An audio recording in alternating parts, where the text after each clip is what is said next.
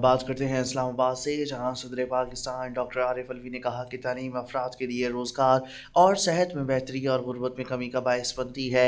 आलमी योम तालीम के मौके पर अपने पैगाम में सदर ममलिकत आरिफ अलवी ने कहा कि तालीम इंसानी तरक्की का एक अहम अंसर और पाकिस्तान के हर शहरी का बुनियादी हक है।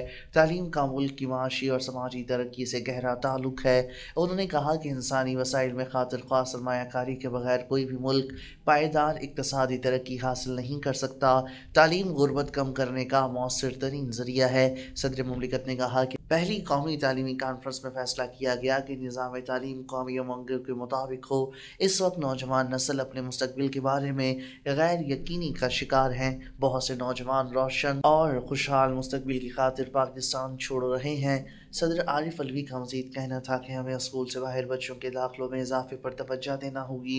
हम अहद करते हैं कि जदीद टेक्नोलॉजी से नौजवान को बाइज़्ज़त रोज़गार के काबिल बनाएँगे।